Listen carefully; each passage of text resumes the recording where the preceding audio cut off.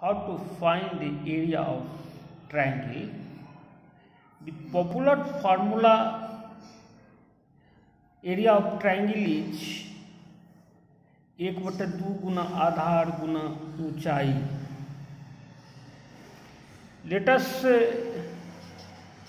A B C is a triangle A B C एक त्रिभुज है और फ़ेमस फार्मूला है एक बटे दो गुना आधार गुना ऊंचाई, जो बी सी आधार हो जाता है, और ये हम इसका हाइट ले लेते हैं। ये ए डी इसका हाइट हो गया।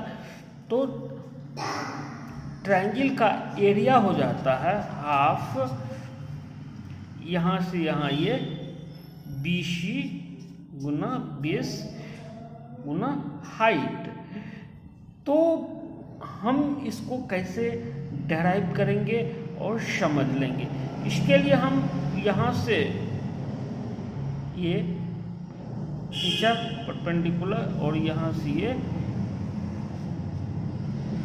खींचा अब हम बारी बारी से देखते हैं ये एक रेक्टेंगल बनता है और एक रेक्टेंगल ये बनता है।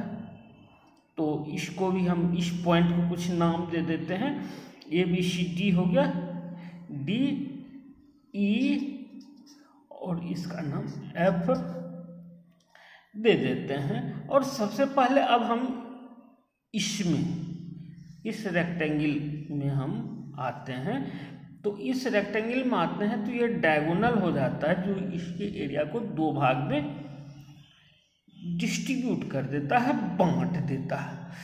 तो ये लंबाई एच है, इसको हम एक्स मान लें तो इस रेक्टेंगल का एरिया हो जाएगा एक्स गुना एच और इस ट्रायंगल का एरिया हो जाएगा हाफ़ एक्स गुना एच अब यहाँ हम देखें triangle A B D triangle A B D का एरिया हो जाएगा। एरिया हो जाएगा कितना?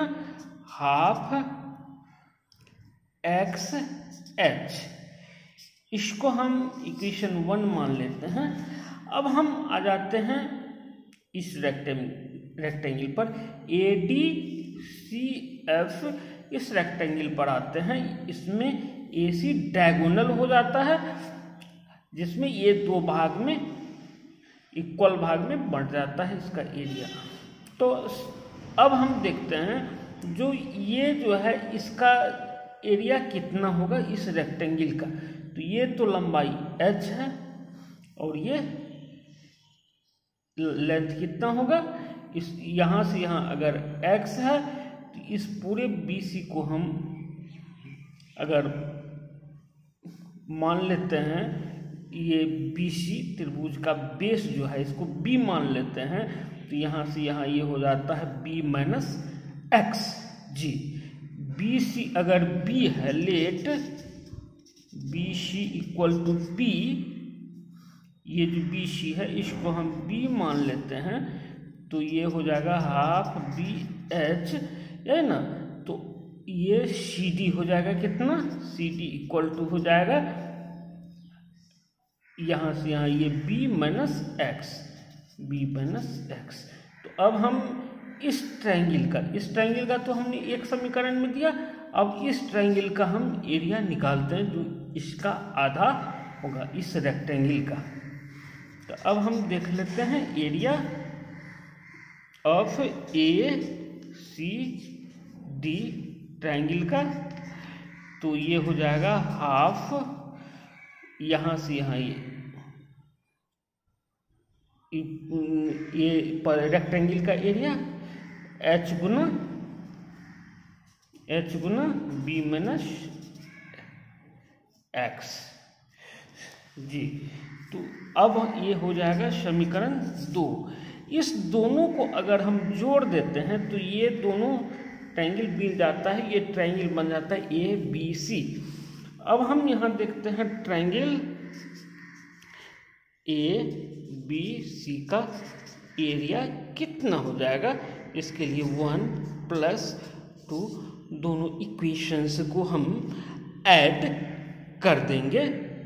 और इसमें हम देख लेते हैं, इसको ऐड करें तो हाफ़ एक्स एच जोड़, ये हो जाएगा half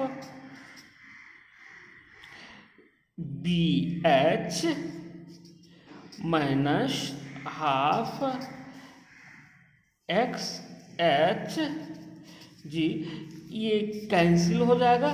तो अब आ गया half B h area of triangle ये प्रूफ हो जाता है एक बटर दो गुना आधार गुना ऊंचाई। ये एरिया ऑफ़ ट्रायंगल एक बटर दो गुना आधार गुना ऊंचाई। नेक्स्ट कंसेप्ट ऑफ़ मैथ्स के साथ हम आ रहे हैं।